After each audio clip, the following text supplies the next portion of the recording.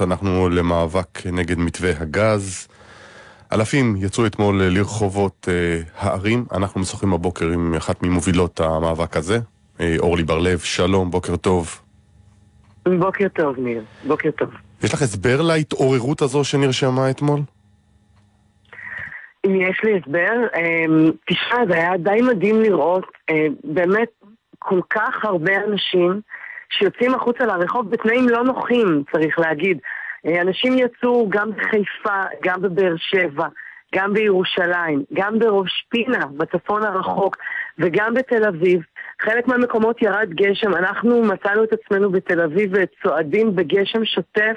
אנשים פתחו מטריות, זה הפך לצעדת המטריות. אה, אנשים מוכנים לצאת מאזור הנוחות שלהם כדי לבוא ולומר, עד כאן. אנחנו לא, לא מוכנים לתת לעניין הזה, לסיפור אה, מתווה הגז, אה, להתקדם כאילו, כאילו אנחנו לא נמצאים כאן. אבל הדבר אה, כאילו המדהים הוא שזה קורה בשבוע... והדבר המדהים הוא שזה קורה בשבוע שבו בעצם התחושה הייתה שהסיפור נגמר לחלוטין. אריה דרעי עוזב את משרדו, כל אותו תרגיל או סיפור אה, פוליטי, והעסק כביכול גמור אחרי שראש הממשלה אמר, אה, אני אחתום כשר הכלכלה. דווקא עכשיו יוצאים האנשים. נכון, כי אתה יודע, זה, זה, זה כאילו אנחנו מגיעים כבר ל, לישורת האחרונה, לזמן פציעות, לזמן פנדלים. זה השלב שבו כבר אין, כבר לא נותרו מעצורים. אין שר שרק בחתימתו זה תלוי, אין, אין. זה, ראש הממשלה מקדם את המתווה, שהוא מתווה הרסני ומסוכן למדינת ישראל, אבל הוא מקדם את זה, והוא לא רואה ממטר, ואתה יודע מה? הגיע הזמן שיהיה פה גם ציבור שקם ואומר לא, וגם הוא לא רואה ממטר.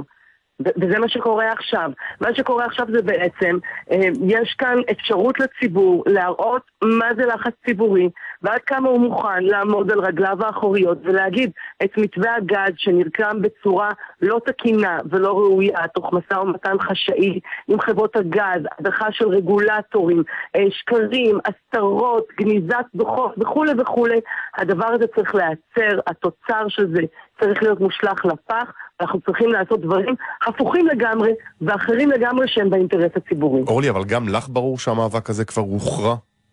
בעצם התרגיל הפוליטי לא. הזה? ממש לא, ממש לא. אנחנו, קודם כל צריך להגיד, ראש הממשלה עוד מגיע לוועדת הכנסת, יש בפניו חובת התייעצות. זה נכון שוועדת הכלכלה לא יכולה להורות לראש הממשלה איך לנהוג, הוא יכול רק להתייעץ איתה, ועדיין הוא יכול ללכת ולעשות כרצונו. אבל... ושוב, זה שעה של מאבק אזרחי נחוש. אנחנו לא רגילים לראות את הדברים האלה בארץ. אנחנו לא רגילים שיש איזשהו מאבק אחד ושהציבור ממש עד הסוף, עד הסוף נאבק ולא מוותר. ואתה יודע מה? גם אם ראש הממשלה יחתום על המתווה הזה, זה עדיין לא הסוף. אנחנו צריכים להביא לכך שהמתווה הזה יתפורר. המתווה הזה גם ככה לא יחזיק מים. המתווה הזה, יש לו עוד שלבים רבים בדרך. בקיצור, הציבור מבין שהוא נשדד, הציבור מבין שאין מי שיציל אותו, והציבור יוצא לעצור את זה. את חושבת שבסופו של דבר אה, אין ויכוח לגבי המאבק שלכם ושל הרבה מאוד אה, אה, גורמים שככה אה, עושים ימים כלילות סביב, סביב הנושא הזה כבר חודשים ארוכים. אה, את חושבת שאם הציבור היה מתעורר בכמויות גדולות יותר, בשלבים מוקדמים יותר, זה יכול היה להיות אחרת? זאת אומרת, בסופו של דבר, זה, זה אלפים בודדים, זאת אומרת, זה לא מזכיר את מחאת 2011, למרות שכאן באמת מדובר, אולי רוב הציבור באמת לא מבין על אילו סכומי כסף מדובר, ועד כמה זה באמת משמעותי לחיים של כולנו. נכון, אני, אני חייבת לומר, זה, זה מדהים, אני אתמול, אני רואה מכיל ענק של אנשים, ממש בגשם השוטף, צועד ברחובות תל אביב, ואני אומרת לעצמי, אלוהים אדירים, הם יצאו להפגין על הגז. עד לפני כמה חודשים, רוב הציבור בכלל לא ידע שיש לנו עניין כזה שנקרא גז, ושאנחנו צריכים לדאוג לעצמנו לפני שבעלי ההון ישדדו את המשאב הזה ויוציאו אותו מחוץ למדינה. וכאן כל כך הרבה אנשים, זה לא רק, זה כל כך הרבה אנשים שיוצאים החוצה ומדברים על נושא שהוא לא סקסי, על נושא שצריך לחפור בו וטיפה יותר להבין איך בדיוק אתה נשדד. תראה, אנחנו נמצאים בתקופה, אנשים ראו בימים האחרונים את הסדרה שבאמת מטלטלת את כולם. העולם מגש הכסף. לגמרי. מול, מול, מול האזרחים מוצבת כאן מראה מאוד קשה ומאוד אכזרית של איך הדברים כאן קורים. לא רק של אה, שאין חסר לנו כסף בסוף החודש לסגור אותו, אלא של איך יכול להיות שחסר לנו כסף לסגור אז תסבירי לי למה בסופו של דבר זה הוציא אלפים בודדים ולא עשרות אלפים, שלא לדבר על מאות אלפים, ולמה בסופו של דבר זה לא באמת ישנה כאן שום דבר מבחינה פוליטית? ישנה מאוד, אני רוצה להגיד שכבר, אנחנו כבר... הרי זה לא משנה מי יהיה שר האוצר, שר האוצר תמיד ייכנס לאותו משרד אוצר עם אותם פקידים, והמדינות תהיה פלוס מינוס אותו דבר, לא יהיו כאן מהפכות גדולות. תשמע, עם הגישה הזאת, אז אני אומרת, אה, ניב, בוא, בוא, בוא, בוא, בוא נסגור את הבאסטה, בוא נארוז מזוודות ובוא נלך.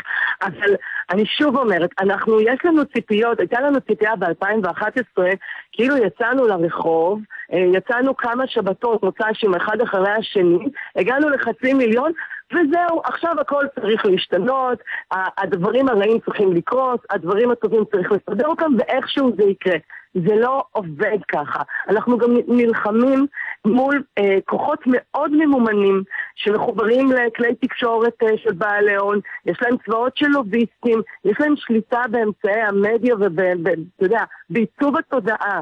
בעצם, אני אומרת, כל יום שהמתווה הזה לא נחתם זה כבר הישג ציבורי ואזרחי אדיר. אנחנו כבר כמה חודשים ברחובות עם כאילו לא חצי מיליון איש האלה, ואנחנו מצליחים פה לעצור את המתווה הזה. אנחנו מצליחים, ואתה יודע, כים המלח נגנב לנו, אז אנחנו התעוררנו בדיליי. פתאום קלטנו, וואו, מה קרה פה? איך, איך, איך קרה שזה... וכאן זה קורה בלייב, זה יותר ויותר מצד שני, יבואו אנשים... שב... אורלי, מצד שני יבואו אנשים ויאמרו לך, תשמעי, אמ, זה הכי טוב שאפשר אה, להוציא ו... ולמשוך ולמשוך ולמשוך את אה, סיפור הגז עוד ועוד, זה רק יגרום ל...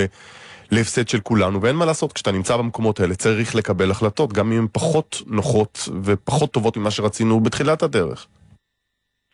תראה, אני רוצה לומר לך, אנחנו לא מנהלים כאן אה, מאבק, אה, אתה יודע, ככה כי משעמם לנו.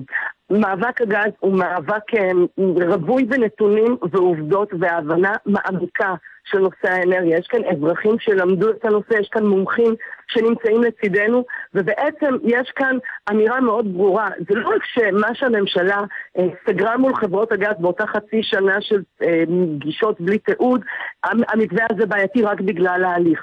התוצאות, כל מי שעיניו בראשו יכול להבין, כאשר יש לך מתווה שמנציח מונופול, כאשר המחירים בכל העולם בקריסה, בחלק מהמקומות באירופה, בארה"ב יורדים מתחת לשני דולר. כאן אנחנו הולכים לסגור מתווה במחירים של אזור החמש, חמש נקודה שבע דולר? מה, זה, זה נשמע למישהו הגיוני? זה נשמע למישהו הגיוני שהולכים לסגור מתווה שמפקיע את הריבונות של הממשלה מול בעלי ההון, okay. אוקיי. ונותן בעצם לבעלי ההון לשלוט במדינה?